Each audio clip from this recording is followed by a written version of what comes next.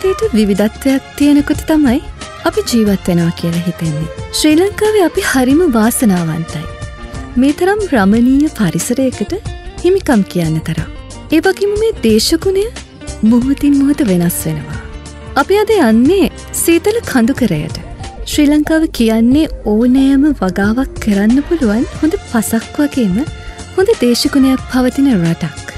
නුවරේලිය ජීවත්වෙන බොහෝ දෙනෙකුගේ ප්‍රධාන ජීවනපාය වෙන්නේ කෘෂිකර්මාන්තය.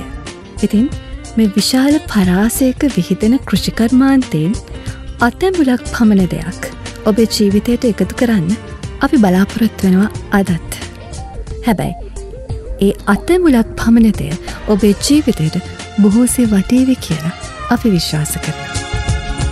අපි මේ පාර යන්නේ සීතල නුවරේලියට සුන්දර දර්ශන පෙළක් සමඟ අපි බොම හරවත් වැඩසටහනක් ඔබට සමීප කරන්න බලාපොරොත්තු වෙනවා. මෙතන ඉඳගෙන නුවරෙලිට තව කිලෝමිටර දොළහක් තියෙනවා. අපි එහෙනම් නුවරෙලිදි හමුවමු. අපි යමු.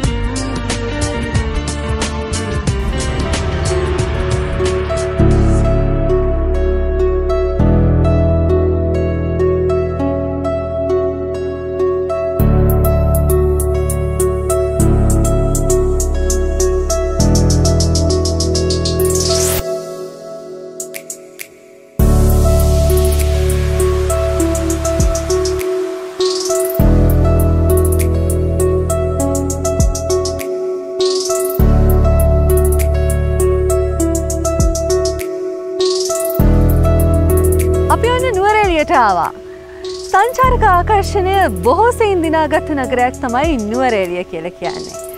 ඒ වගේම බොහෝසයින් මේ සුන්දරත්වය ගැන කතා බහට ලක්වුණු ප්‍රදේශයක් තමයි නුවරේලි ප්‍රදේශය කියල කියන්නේ. ඉතින් අපි ආවා නුවරෙලිය ප්‍රදේශයේ ප්‍රධානම හෝටලයක් වෙන ග්‍රෑන්ඩ් හොටල් එකට.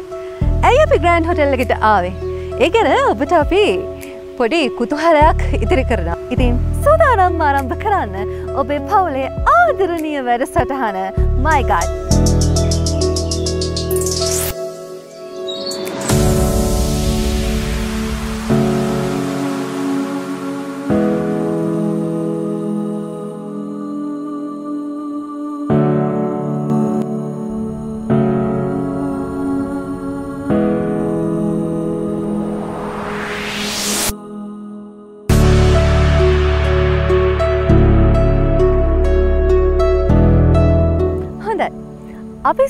වෙන්නේ මේ නුවරේලියයි ග්‍රෑන්ඩ් හොටෙල් එකයි අතර තින මේ ඓතිහාසික කතන්දරය ඔබට කියන්න.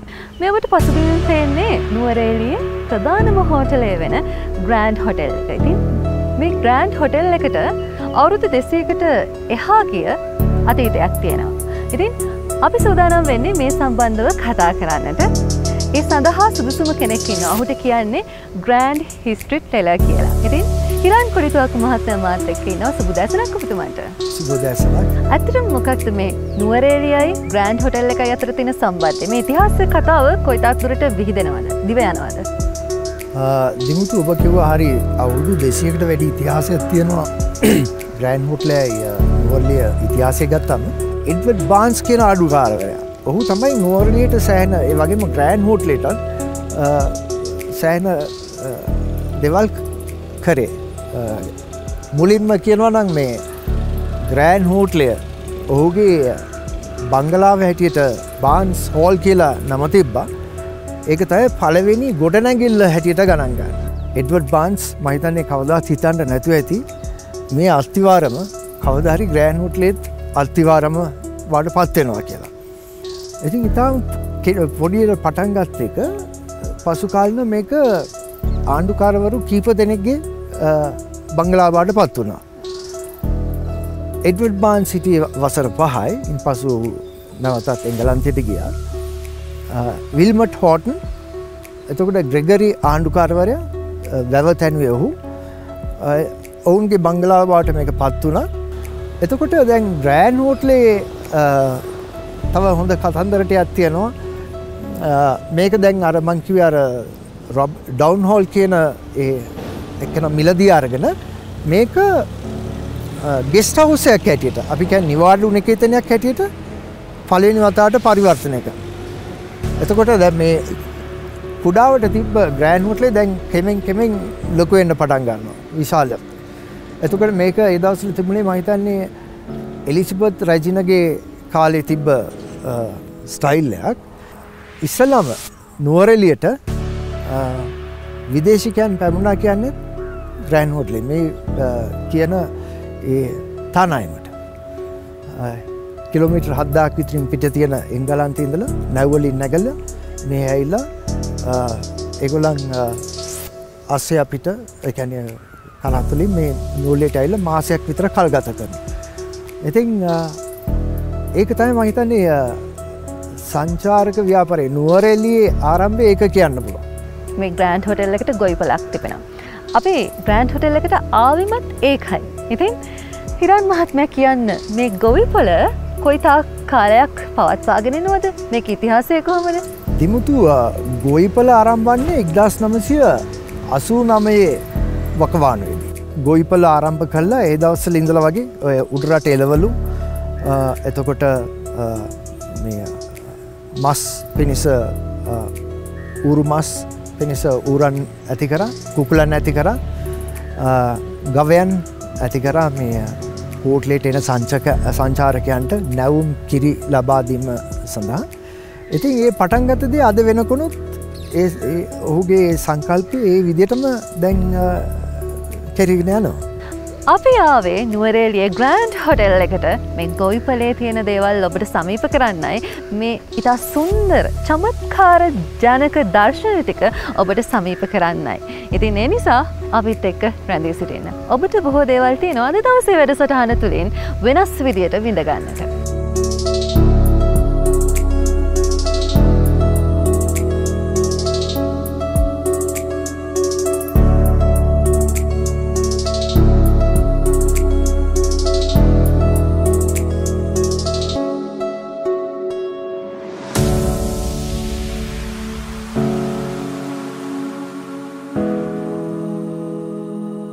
ග්‍රෑන්ඩ් හොටල් එක උද්‍යානයට ආවහම විවිධාකාරයේ මල් විශේෂ වලින් මේ උද්‍යානය අලංකරණය වෙලා තිබෙනවා. ඉතින් මේ නිසා මේ මල් විශේෂ මොනවද කියලා දැනගන්න මට කුතුහලයක් තියෙනවා. හිරන් මහත්ම ඇත්තට මොනවද මේ විවිධාකාරයේ මල් විශේෂ තියෙන මේවා මොන නම් වලින්ද හඳුන්වන්නේ? ඔව් දිමුතු මේ නුවරලීට ආවෙනික වෙච්ච මල් තියෙනවා. සමහරක් අර සීසනල් කියලා කියනවා. සමහරක් අවුරුදු පුරාම තියෙනවා. එතකොට නොයකුත් නම් වලින් තියෙනවා. දැන් නෝර්ලේට ඉංග්‍රීසින් හඳුන්වාල දුන්න මල් ගැන කතන්න අර ඉස්රා තියෙනවා කානේෂන් තරවා දකිින් ඇති රෝසස් එතකොට ජෙරේනියම්ස් ඕවා මේ මහිතන අවුරුද් දෙසීකටත් වැඩි. කැනේ නෝලට හඳුන්වා දුන්නේ මේ බ්‍රතාාන ජාතිකයෙන්.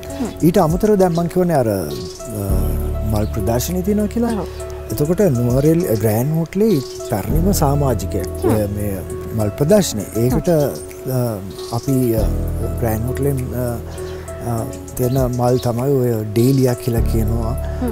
එතකොට ෆ්ලොක්ස් කැන්ඩි ට්‍රෆ් රෝසස් මං හිතන්නේ අපේ ගෙදර ඉන්න අය බලාගෙන ඉන්නේ මොනවද මේ මල් විශේෂ කියලා. ඇතරම මොකද අපි නුවරණයට ආහම මල් කියන දෙයට ප්‍රසිද්ධයින නේද?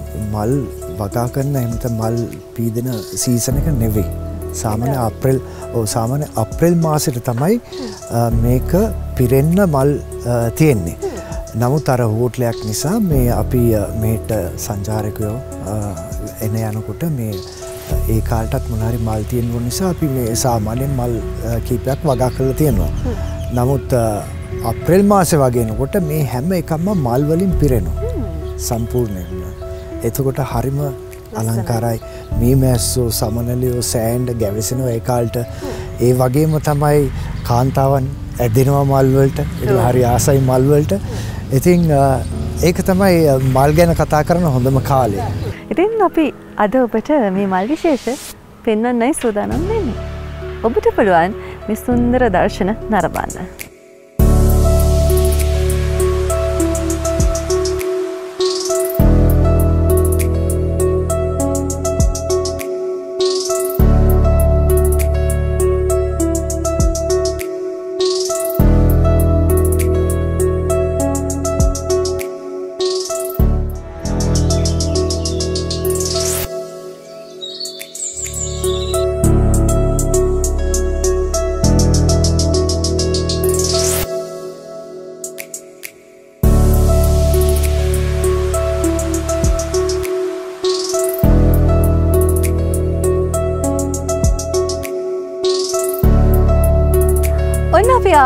ග්‍රන්ඩ් හොඩල් පරිශ්‍රයේ තියෙන මේ ගොවි පොලට.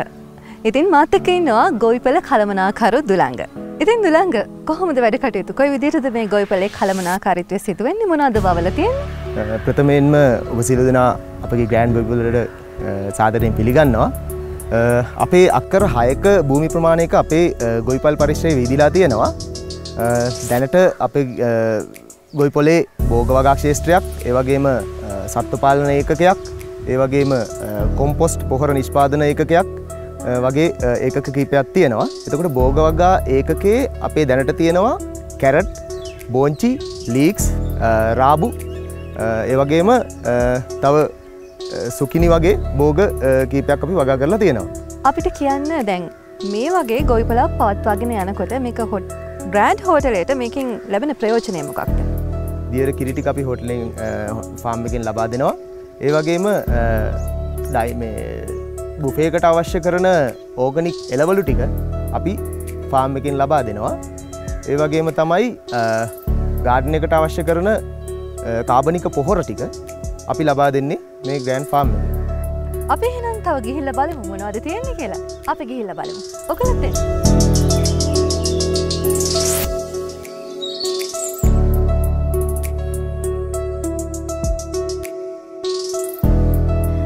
මේ තියන්නේ මේ ගොවිපලේ කාබනික පෝර හදන තැන. ඉතින් මේ තියන්නේ කාබනික පෝර අපි ඔබට කියලා දීලා තියෙනවා මේවා හදන හැටි. ඉතින් මේ පරිශ්‍රයේත් මේ දේවල් මේ විදිහටම සිද්ධ වෙනවා. මේ තියෙන්නේ අපේ ගොයිපොලි නිස්පාදනය කරන කාබනික පොහොර මේ පසට එදීම මගින් පසේ වියහේ දියුණු වෙනවා වගේම පසේ වාතනය ඒ වගේම ශුද්‍රජීවී ක්‍රියාකාරිත්වය ඒවගේ බෝගවලට අවශ්‍ය කරන පෝෂක ටික සියල්ලක්ම මේ පොහොරොලින් ලබා දෙන්න පුළුවන්. දීර්ඝකාලීනව පසට අවශ්‍ය බෝගොල්ට අවශ්‍ය කරන පෝෂක වර්ග ටික ඒවගේම ශුද්‍රජීවීන්ට අවශ්‍ය කරන පෝෂක වර්ග ටික ලබා දෙන්න- ලබා දෙන්න මේ කාබනික පොහොර අ, විශාල වැදගත්කමක් තියෙනවා.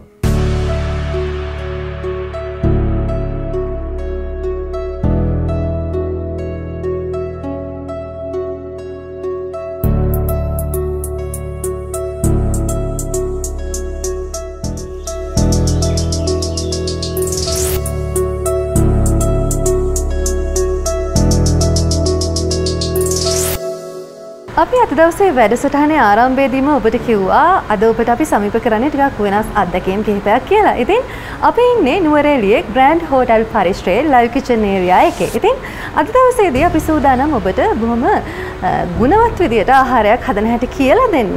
මාත් එක්ක මේ වෙලාවේදී ඒකට ඉන්නවා මේ ග්‍රෑන්ඩ් හෝටලේ ප්‍රධාන සුපවේදී ප්‍රියන්ත වීරසිංහ මහත්මයා. ප්‍රියන්ත මහත්මයා සුබ දවසක් ඔබට. උදෑසන සිරිතු ඔව්.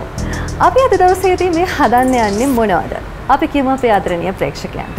ඔව් අද දවසේ අලුත්ම අත්දැකීමක් ඔබට අපි ලබා දෙන්න සූදානම් මයි ගාඩන් වැඩසටහනේ අද අපි ඔබට හදන්න යන්නේ පනීර් එකක්. පනීර් එකක් කියන්නේ නෝත් ඉන්දියන් වෙජිටේරියන් ඩිෂ්ක් මේක නෝත් ඉන්දියන් වල ඉතාම ප්‍රසිද්ධ ආහාර වේලක්. අද අපි මේ පනීර් එක හදන්නෙත් අපේ ෆාම් එකෙන්. අපි ගත්ත නැවුම් එලකිරි වලින්. මේකේ ගුණාත්මක භාවය මොකක්ද? ඔව්. ඇත්තටම පනීර් කියන්නේ ඉන්දියාවේ ඉතාම ප්‍රසිද්ධ ආහාර වේලක්. සෞත් ඉන්දියන් වල ඉතාම ප්‍රසිද්ධ වෙජිටේරියන් ආහාර වේලක්. මේ හොඳ ප්‍රෝටීන් ආහාර වේලක්. ඒ වගේම මේක ශරීරයට ඉතාම හිතකරයි. ඒ වගේම මේක සුග සීනි තියන අයට. ඒ වගේම මේක රසකාරක නැති ඇඟට ඵලදායි ආහාර වේලක් පනීර් කියන්නේ ඔන්න ඔබ සියලු දෙනාම කැමති පන්නීර් අපි ගෙදරදිම හදාගන්න හැටි කියලා දෙන්න යන්නේ. චෙෆ් අපිට කියන්න මොනවද මේ සඳහා අවශ්‍ය වෙන්නේ? නැවුම් කිරියෝනේ ප්‍රෙෂ් මිල් උදේ ගෙනාපු කිරි තමයි දැන් අපි ගව තියෙන්නේ දැන් අපි ඔබට පළමුව පෙන්නනවා කොහොමද පනීරයක් අපි සාදා ගන්න. දැන් ඔන්න ඔබට බලාගන්න පුළුවන් අපි මොකක්ද කරන්න කියලා. මේ තියෙන්නේ අපේ පාම් එකෙන් ගෙනාපු නැවුම් එලකිරි. දැන් අපි බඳුනකට මේක දාලා අපි හදන හැටි ඔබට ඉදිරිපත් කරනවා. අපිට සාමාන්‍යයෙන් කොයිතරම් ප්‍රමාණයක් අවශ්‍ය වෙනවද? ඒක අපි- මේ අද බාගත්තේ නැවුම් එලකිරි ලීටර් 12. අපි බඳුන ටිකක් රත් කරලා ඉන්න ඕනද මේ කිරි දාන්න? ඔව් බඳුන ටිකක් රත් කරලා ඉන්න ඕනේ. මොකද බඳුනේ වතුර තිබුණොත් අපි දාන නැවුම් එලකිරි එකේ අපිට අ, පනීර් එක සාදා ගන්නකොට ඒක ක්‍රමානුකූලව සාදා ගන්න අමාරු වෙනවා. මේ විදිහට කිරි එක පැය භාගයක් රත් කර ගන්න ඕනේ. උතුරන තැනට එනකම්ම කිරි එක රත් කර ගන්න. තැන් අර නටන එලකිරි කොහොමද මේ ගණ ස්භාවයට එන්නේ. ඔව්. කොහොමද පන්නීර් තත්වයට ගන්න. ඔව් දැන් අපි නටන ඉලකිරි නටා එනකොට අපි ඒකට විනාකිරි ස්වල්පයක් දානු. විනාකිරි ස්වල්පයක් දාලා නැවතත් පෑ භාගයක් විතර ඒක පදම එනකම්ම හොඳට කලවන් කරනවා. පස්ස ලිප ලිප නිමලා මොද විනාකිරි දැම්මට පස්සේ අරක අපේ හරි පදමට එනවා පෑ භාගයක් ඇතුළට. හදමට එනවා කැන මේක ගණ වෙනවා. සියට පණහක් විතර ගණ වෙනවා ඊට පස්සේ අපි කරන්න පිරිසුදු රෙදි කෑල්ලක් අරගෙන අර ගණ වෙච්ච කිරි එක අපි රෙදි කෑල්ලට දාලා හොඳට ඔතලා ඒක අපි සීතකරණ එක තබනවා. ඔන්න ඉතින් අපි ඔන්න ගෙදරදි පන්නීර් හදාගත්ත කියලා හිතමුකෝ. දැන් කොහොමද මේක රසවත් ආහාරයක් බවට පත් කරගන්න කියලා අපිට චෙෆ් කියලා දේවි.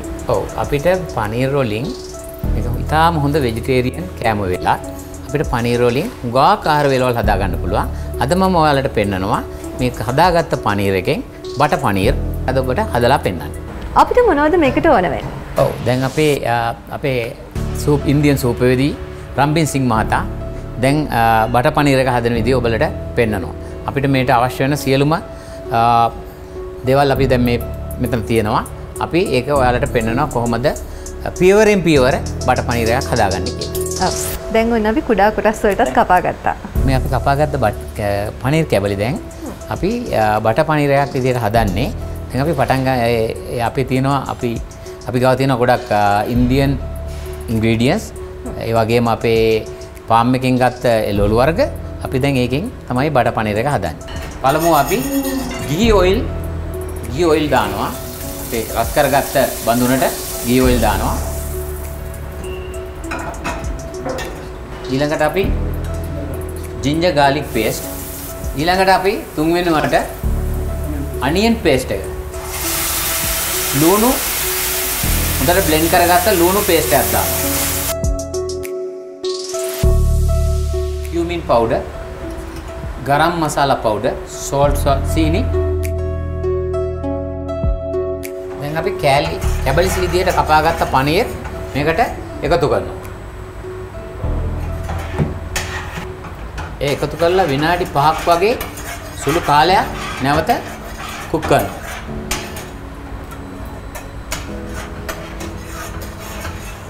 ෆ්‍රෙෂ් ක්‍රීම් මේ ඔබට සුපර් මාකට් එකේ වුණත් අදිනෙදා වෙළඳ පොලේ ලබා ගන්න පුළුවන්.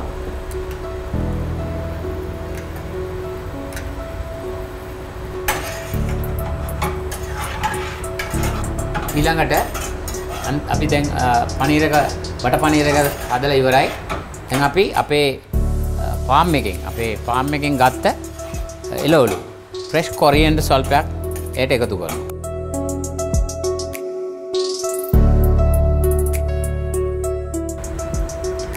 අපි දැන් පනීර එක හදලා ඉවරයි. එහෙමද? අපි දැන් පනීර එක හදලා ඉවරයි. ඔන්න අපේ බටර් පනීර එක හදලා ඉවරයි. දැන් අපි මේක අමුත්තෙකුට පිළිගන්නන්නේ කොහොමද චෙෆ්? ඔව් දැන් අපි බටර් පනීර එක හදලා ඉවරයි. නමුත් අපි මේක අමුත්තෙකුට පිළිගන්නනකොට අපි මේකට පොඩි සැරසිල්ලක් කරනවා. ඒක අපි කියනවා නම් කුකරි වලින් ගානිෂ් කරනවා. වගේ අපි ගාව තියෙන ක්‍රීම් එකෙන් ස්වල්පයක් දානවා මේක. එහෙම උඩට පොඩ්ඩක්. ඒ වගේම අපි ගාව තියෙන ෆ්‍රෙෂ් කොරියන්ඩර් ලියව්ස් උඩින් සැරසිල්ලක් විදියට දානවා. මේ පනීර් සඳහා එලකිරි ඔබගේ ගෙදරින් ඔබගේ ගමාවට ඔබට එලකිරි ලබා ගන්න පුළුවන්. ඒ වගේම මේ පනීර් සඳහා අපි කිතිම කුසි රසායන ද්‍රව්‍යයක් සහ කිසිම ඇඟට අහිත කර දෙයක් භාවිතා කරන්නේ නැහැ. ඔබ දකින්න ඇති අපි පනීර් සහ විනාගිරි පමණයි මේට භාවිතා කරන්නේ. අන්න ඒ දේ තමයි අපිට ඔබට අද දවසේදී කියන්න ඕන උනේ. අපි ඔබට අපේ වැඩසටහනෙන් කියලා දීලා තිබෙනවා කොහොමද එලකිරි නිෂ්පාදනය කරගන්නේ. ඔබේ ගෙදරදී වුණත් කොහොමද එළග එළගවයින් ඇති කරගන්න කියලා. ඉතින් ඒ ආශ්‍රිතව මේ තියෙන්නේ අපි හදාගන්න පුළුවන් ගෙදරදිම හදාගන්න පුළුවන් නිෂ්පාදන. ඉතින් මේ තුළින් හදාගත්තු රසවත් ආහාරයක් තමයි බට පනීර් කියන්න. ඉතින් ඔන්න අද දවසේදී අපි අපේ මයිගාඩන් වැඩසටහනෙන් ඔබට වෙනස් අත්දැකීම් ටිකක් එකතු කරනවා කියලා මුලදි කිව්වා වගේම මේකත් ඔබට වෙනස් අත්දැකීමක් එහෙම නේද? ඉතින් අපි ස්තුතිවන්ත වෙනවා අපිත් එක්ක එකතු වුණු චෙෆ් ප්‍රියන්තටත් ඒ වගේම චෙෆ් රන්බීර්ටත්. ඉතින් අද දවසේදී අපේ මයිගාඩන් වැඩසටහනෙන් ඔබට වෙනස් අත්දැකීම් කීපයක් තමයි එකතු කරන්න අපි සූදානම් වුණේ. අපි බොහෝ දේවල් තවත් ඔබට ගෙනෙන්න සූදානම් වෙනවා. ඒ නිසා රැඳී සිටින අපිත් එක්ක.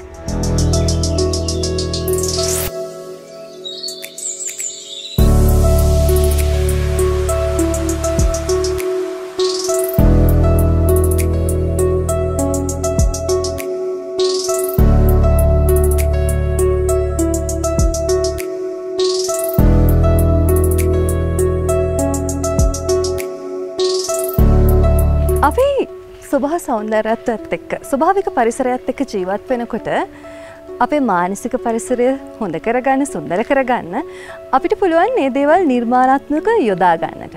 ඉතින් එව විවිධ සංකල්ප තියෙනවා. අපි මේ සූදානම් වෙන්නේ මේ ග්‍රෑන්ඩ් හෝටල් පරිශ්‍රය තුළ තිබෙන එවැනි සංකල්පයක් ඔවුන් එක යථාර්ථයක් බවට පත් කර සංකල්පයක් ඔබට පෙන්වන්න. එන්න අපිත් එක්ක.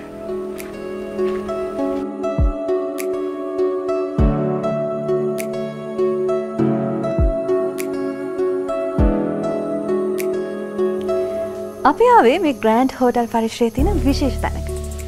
එකන ඔබට පෙන්වන තමයි එකන කියල දෙන්න තමයි මේ හදන්නේ. මේ දොරෙන් අපි ඇතුල්ලුන හම මේ තින්නේ ආරම්භක ස්ථානය. අපි කතා කරමු මේ පැළවර්ග මොනවද කියලා මොකද බලන් ඉන්න අයත් දැනගන්න කැමති ඇති.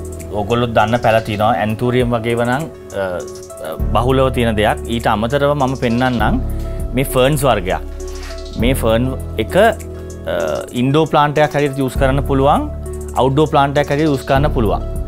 ගොඩක්ම ඔක්සිජන් ප්‍රති ලබාදීමක් කරනවා මේ පැළවලින් විශේෂයෙන් මේ ෆර්න් පැලෙෙන්. ඒක තව එකක්. ඊළඟ හැටියට පෙන්න්න පුළුව මේ සීවර්ගේට අයත් පැළවර්ගයක් මේ පැළෙත් අපිට භාවිතා කරන්න පුළුවන් පීකස් බෙන්ජමිනා කියන පැළේ ගෘහස්ථය අලංකරණයට. ඒකෙති විශේෂත්වය තද ආලෝකයේදී මෙය පැළේ වර්ණය වෙනස් වෙනවා. තව තැනකදී ආලෝකය අඩුවනහම පැළේ කලරක වෙනස් වෙන්න පුළුවන්. නිවසේ ඇතුළ තියෙනව නම් මේක තියෙන මේ වෙරිගේටට් ගතිය නැති වෙනවා නේද? අඩුවෙන අඩුවෙනවා. ගොඩක් දුරට අඩුවෙනවා නමුත් නැතිම වෙන්නේ නැහැ. තවත් තියෙනවා මේ තව වගේ මේ විංක එක භාවිතා කරන්න පුළුවන් ගෘහස්ථාලංකරණයට මේකනුත් ඔක්සිජන් සෑහැන දුරට ලබා දෙන පැලයක් මේක. බහුලම ඔක්සිජන් පිට කරන්න මොනවද? මොන වගේ පැළට? සාමාන්‍යෙන් පිළිගත්ත දේ තමයි සෙන්සවේරයා කියන එක බහුලම ඔක්සිජන් දෙන එකක් තමයි ඒක ඒකත් ඒ හා සමානව මේ මේ විංකා කෙනුත් ඔක්සිජන් ලබාද ගන්න පුළුවන් අපිට. මට කියන්න මෙතන තව විශේෂත්වයක් තියෙනවා නම් මේ මොකක්ද? මේක සාමාන්‍ය අධිකාරිතුමාගේ උපදෙස් පරිදි අපි මේක වෙනස් කරා මේක නිකම්ම නර්සරි එකක් නෙමෙයි මේක ඇතුළේ අපිට කෑමක් දෙන්න පුළුවන් ඕන තරාතිනම කෙනෙකුට හරිතාගාරයක් තුළ දෙන පළවෙනි අත්දැකීම ලබන්න පුළුවන් විදිහට අපි මේක හදලා තියෙනවා. හරිතාගාරයක් තුළ මේ වගේ සංකල්පයක් එකතු කරන්නට හිතුවෑයි. අපිට මේ මුළු ලෝකෙටම බලපෑව් බලපා බලපැවත් වූ කොවිD-19 වෛරසය නිසා ඔක්සිජන් කියන එක ටිකක් ඉහළ අගයක් ගත්තා ඒක නිසා අපි තීරණය කරා ආහාරවේල දෙන අවස්ථාවේදී පියෝ ඔක්සිජන් ලබා ගනිමින් ඒ ආහාර බුක්ති විඳින්න සලස්වන්න පුළුවන්නම් අපිට ඒක කොයිතරං දෙයක්ද කියන එක. කාබනික හා නිර්මාංශ ආහාර වේලක් බුක්ති විඳින්න කැමති කෙනෙක්ට ඔන්න පුළුවන් නුවරේලිය ග්‍රෑන්ඩ් හෝටලට අවතින් හොඳ වාතාශ්‍රයක් එක්ක මේ කොළපාට පරිසරය තුළ ඉඳගෙන හොඳ හුස්ම ටිකක් ගන්න ගමන් රසවත් ආහාර වේලක් රස විඳින්න. ඉතින් මටත් හම්බුනා එකට අවස්ථාවක්. මන්දන් සුතනම් වෙන්නේ ඒක මුක්ති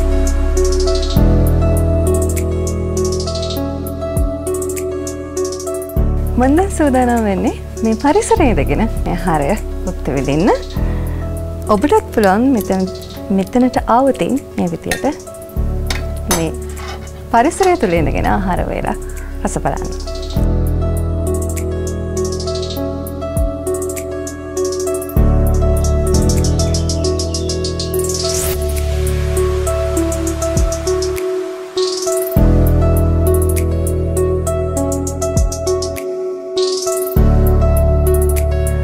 වගා කරන එළවලු පළතුරු වලට යම්කිසි අගයක් එකතු කරලා වෙළඳ පොලට හඳුන්වා දෙන්නට පුළුවන් නම් එක බොහොම වැදගත්.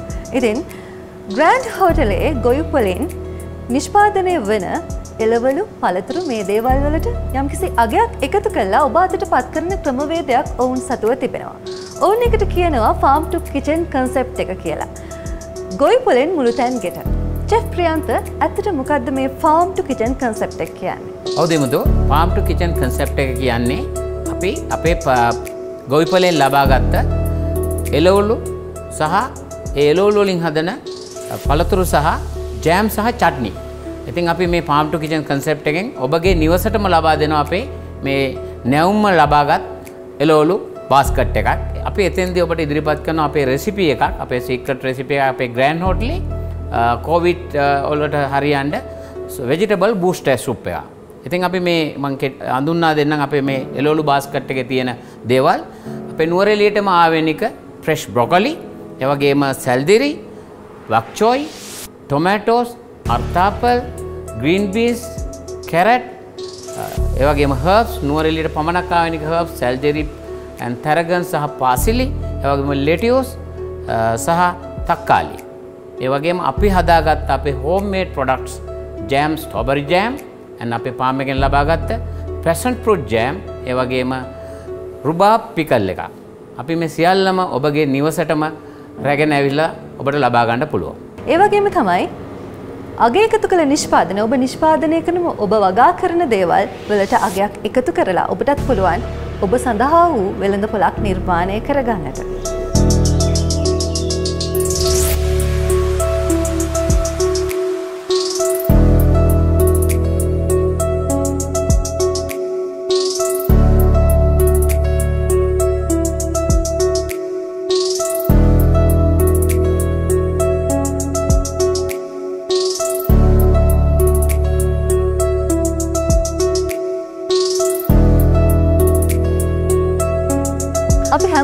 ස්වභාවික පරිසරයට ආදරේ. අපි ජීවත් වෙන්නේ පරිසරයේ තිරසාර පැවැත්මට අනුව.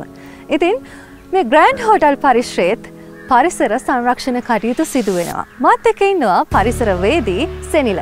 ඉතින් සෙනිල මොකක්ද මේ අපි අපේ ආදරණීය ප්‍රේක්ෂකයන්ට කියන්න යන්නේ මොනවද මෙතන වෙන්නේ? ඇත්තටම අපි ග්‍රෑන්් හෝටල වශයෙන් අපේ බිස්නස්සගේ අපි ගොඩක්ම සැලකිලිමත් වෙන දෙයක් තමයි පරිසර සංරක්ෂණය කියන්නේ. ඇත්තටම මෙතනදී සිද්ධ වෙන දෙයක් තමයි අපි මේ ලෝකයේ පවතින ඉතාමත් දුර්ලභ සහ වටිනාම ගණය ශාකයක් වන මීවන ශාගය සංරක්ෂණය සඳහා තම අපි මේ ස්ථානය සකස් කරලා තියෙන්නේ.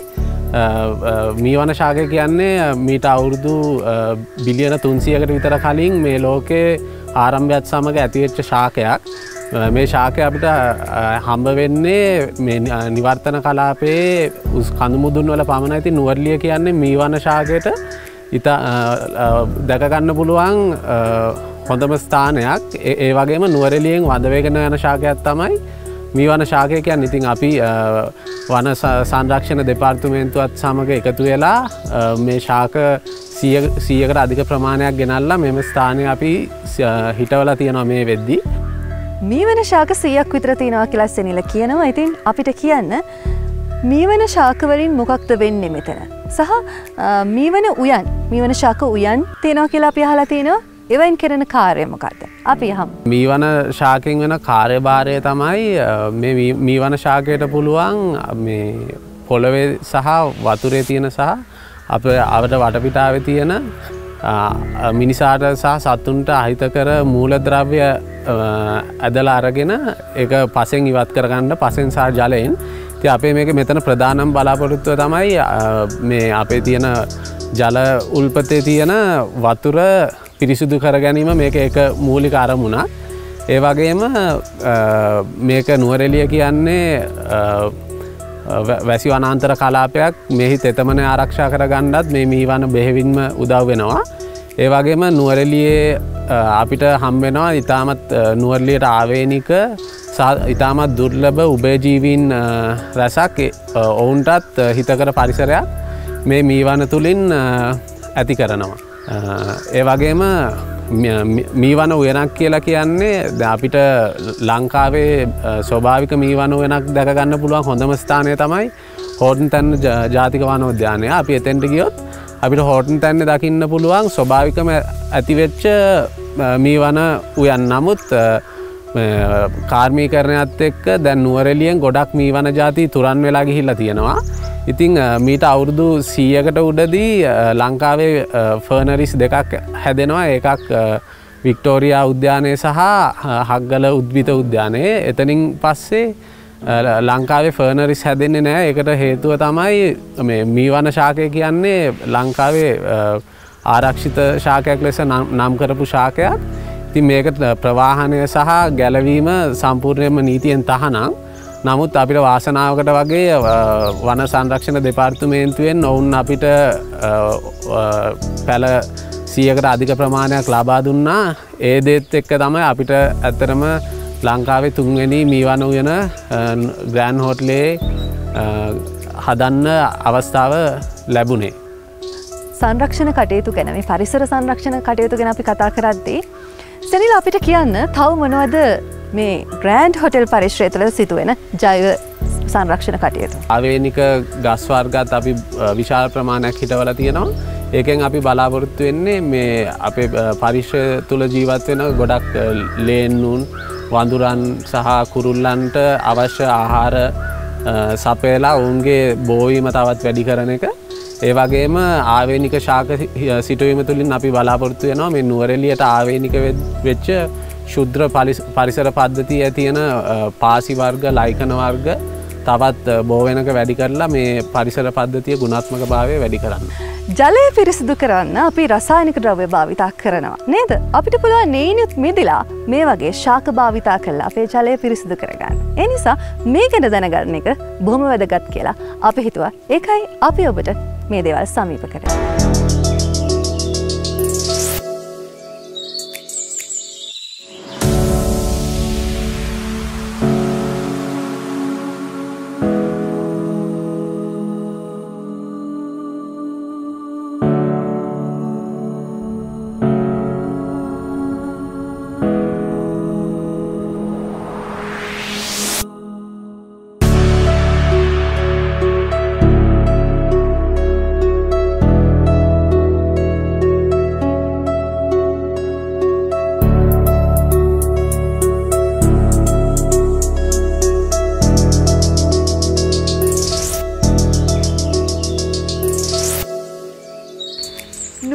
ග්‍රෑන්ඩ් හොටෙල් එකට ඇවිල්ලා උද්‍යාන අලංකරණය ගැන අපි කතා නොකර හිටියොතින් ඒක ලොකු අඩුවක් වෙනවා.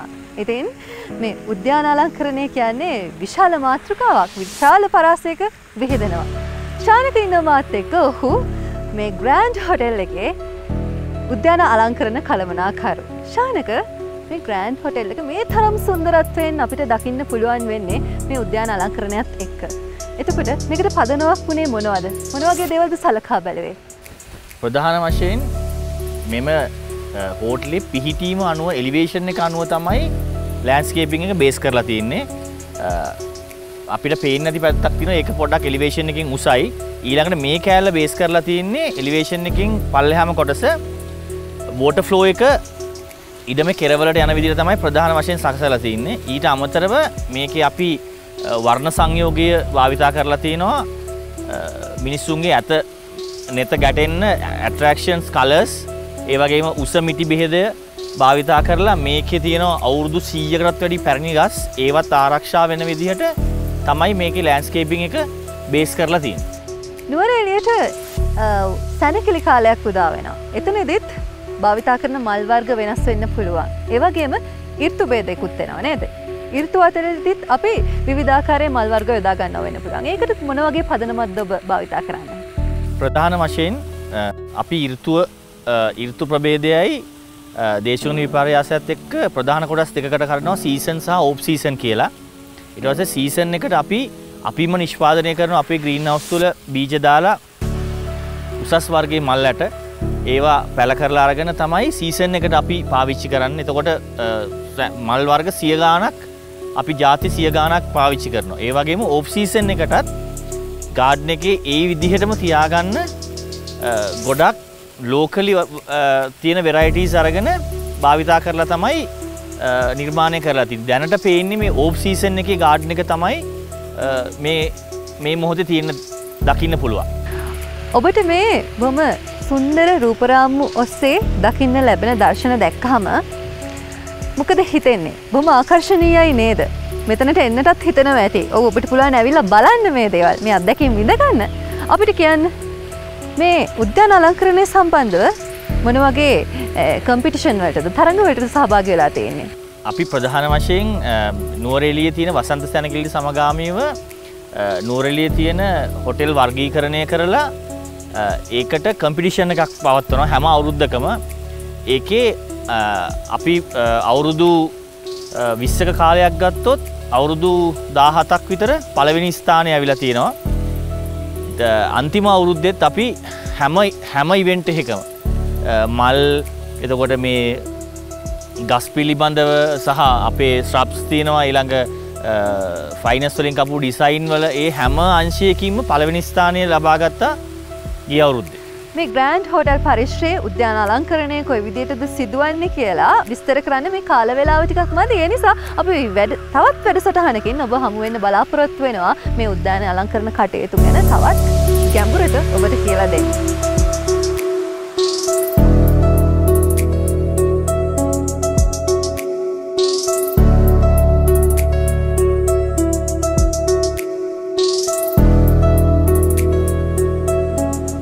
රෝසවාගාවක මල් දකින්න අපි හැමෝම කැමති. ඉතින් රෝසපාත්‍යයක හොඳ මල්ඩාවක් ලබාගන්න අපි ටිකක් මහන්සි වෙන්න ඕනි කියලා තමයි හිතන්නේ නේද අපි හැමෝම.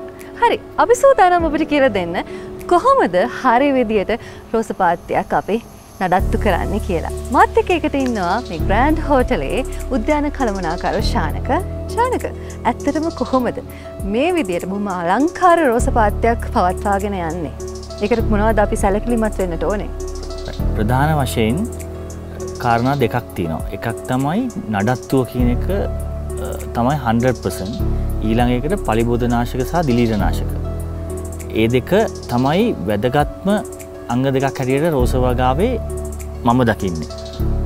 ප්‍රධාන වශයෙන් රෝස පැලයක් ගෙනල්ලා හිටවනකට පස ගැන සහ ඒකේ පසේ තියෙන ගුණාංග ගැන සැලකිලිමත් වෙන්නම ඕනේ.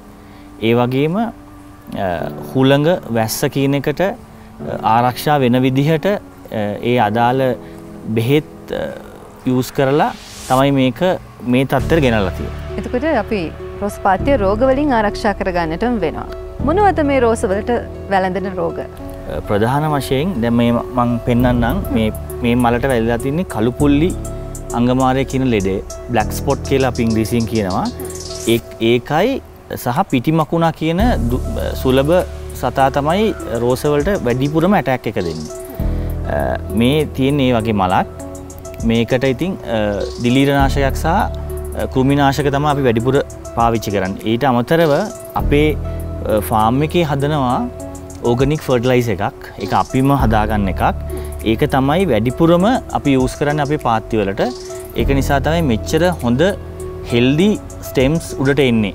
රෝසවගාවක් පවත්වාගෙන යන්න එකට ආරම්භ කරන්න ඉන්න කෙනෙක් වෙන්න පුළන් මේ අපේ වැඩ සටහන නරවන්නේ ඉතින් එහෙම කෙනෙක්ට මේ රෝස පාත්‍යයක් ඇති කරගන්න මොන වගේ ප්ලාන්ටිම් මැටේරියස්ද ඒකන්නේ මේ අපි අපි එකතු කරගන්න ඕන මොන වගේ කොටස්ද මේ රෝස වගාව ඇති කරගන්න.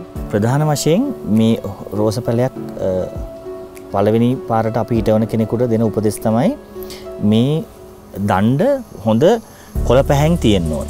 මේක කිසිම කලු තිතක්වත් තියෙන හොඳ නැහැ.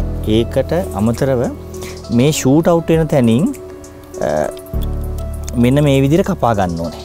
මේ උඩ කෑල්ල අයින් කරලා මේක තමයි ප්‍රධාන අපේ ප්‍රධාන දේ වෙන්නේ. ඊට පස්සේ මෙතන අංගල් දෙක තුනක පල්ලෙහැන් පල්ලෙහාට ඉරන කට්ට එකක් අපි දාගන්න ඕන. ඒක අරගෙන රූටිං පවුඩ වල ගල්වලා මේක ගේනවා අපි සදාගත් පස් මිස්ත්‍රණය තුළට දවස් විසි එකක් වගේ කාලයක් අපි ඒක හොලවන් ඇතුව හොඳට බලාගන්න ඕනේ නර්සරිය එකක් ඇතුළේ සහ එලිමහනක හරි කමක් නැත. අවු රශ්මිය මද වෙන්න තියෙන්ට ඕනේ. ඊට පස්සේ කිරිමුල් ඇදුනට පස්සේ මේක ගෙනල්ලා ශ්‍රේස්ත්‍රී හිටවන්ඩුව.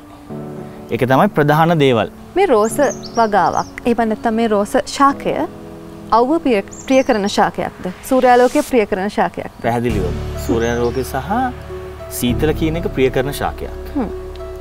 ඒක නිසා තමයි පහතරට රෝසවල ගුණාත්මක බවයි උඩට රෝසවල ගුණාත්මක බව වෙනස් වෙන ප්‍රධානව සාධකයක් තමයි අවසා සීතලගෙන එක. මේ දෙක මික්සුනාම පැලේ උසයන්න ප්‍රමාණය සහ මලේ ලොකු ප්‍රමාණය මේ දේශවනික විපර්යාස තුළින් ලැබෙන ප්‍රතිඵලයක් තමයි මේ. සමහරක් වෙලාවට මේ බලාගෙන ඉන්න ඔබට ගැටලුවක් තියෙන්න පුළුවන් උඩරට ප්‍රදේශයේ වැවෙන මේ රෝස ප්‍රබේද පහතරට දේශගුණයට එක ඔරොත්තු දෙනවද කියලා.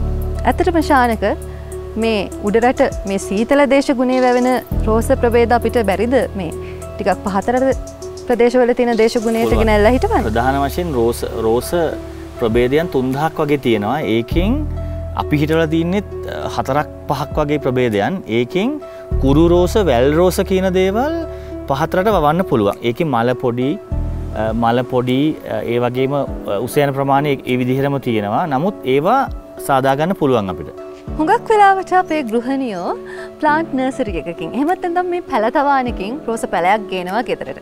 උද්‍යානයේ තිබ්බට පස්සේ ටික දවසක් හොඳට තියෙනවා හැබැයි ටික දවසකින් ඒක එක්ක මැරෙනවා එහෙම නැත්තම් ඒක මල්දාවක් හොඳට දකින්න ලැබෙන්නේ නැහැ. මේකට හේතුව මොකක්ද කොහොමද මේක අපි මගහරවා ගන්නේ. හොඳ පැලේක ලක්ෂණ කීපයක් තියෙනවා. එකක් තමයි අතුරිකිලි කිහිපයක් ඒ ස්ටෙම් එකේ තියෙන්ඩුවන්. ඊට අමතරව හොඳ සාමාන්‍ය මම බලාපොරොත්තින උස තමයි අඩියක් එකමාරක් උස තියෙන්න්න ඕනේ.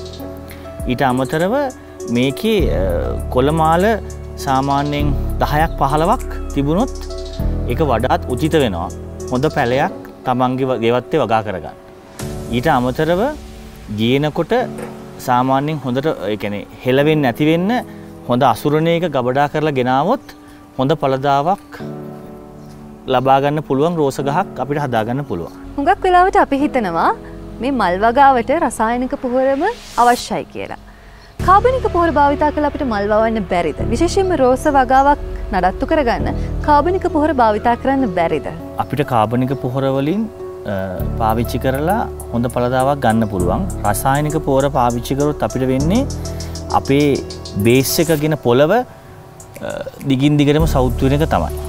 නමුත් ඒක හදාගන්න සෑහෙන කාලයක් අපිට වෙහෙසෙන්න වේ ඊට අමතරව අපිට පුළුවන් අපේ ෆාර්ම එක හදන දේවල් තියෙන කාබනික පෝර ඒ වගේ ඕගොල්ලොත් හදාගන්න කාබනික පෝර පාවිච්චි කරලා රෝස පැලයක් නඩත්තු කරන්න පුළුවන්. ගොඩක් අය කියනවා මේ කාබනික පොහොර භාවිතා කරනකොට මේක ඉන්න ශුද්ධ ජීවීන් නිසා මේ පැලයට හානි කරයි කියලා. විශේෂම මල් වගාවේදී. ඇත්තටම එක එහෙම වෙනවද?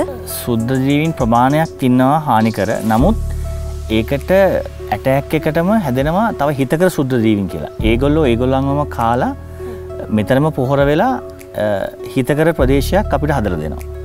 ලොකු හානියක් කරන්න අමාරු ඒගොල්ලන්ට. ඔන්න එහෙනම් මං හිතනවා ඔබට අවශ්‍ය පිළිතුරු රාශයක් ලැබුණ කියලා ඔබට මෙතෙක් තිබුණු ගැටරුවලට.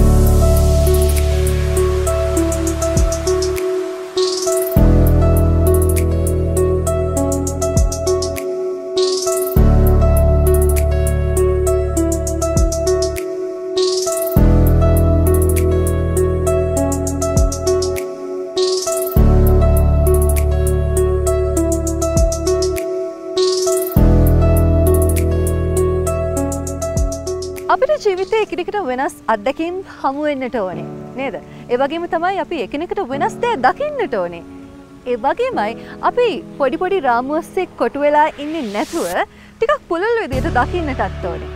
ඉතින් අද දවසේද අපි අපේ වැඩසටහන ඔබට සමීප කරේ නුවරැලියේ ග්‍රෑන්ඩ් හොඩෙල් පරිශ්‍රය ඉඳගෙන. එළඹ නිරිදත් අපි ඔබට බොම ආකර්ශණය දසුන් පෙලක් එක්ක හරවත් වැඩසටහනක් මේ ග්‍රෑන්් හොටල් පරිශ්‍රය ඉඳගෙනම ගෙනන්න බලාපොරොත්තු වෙනවා. ඉතින් අදට අපි ඔබෙන් සමගන්නවා ගෙහින් එන්නම් ප්‍රාර්ථනා කරන ඔබට අයු බොහෝ සපිරුණු නිරෝගිමත් හැට දවසක්.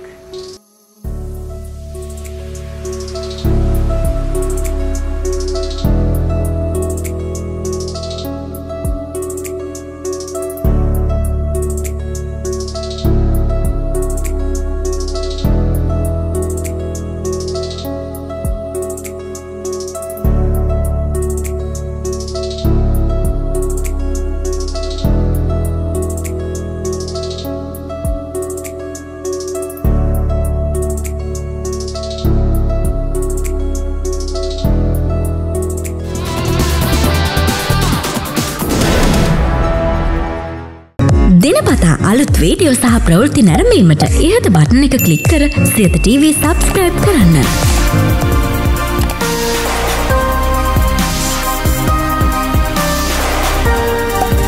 අලුත් වීඩියෝ ගැන මුලින්ම දැනගන්න මෙම සීනුව කලික් කරන්න.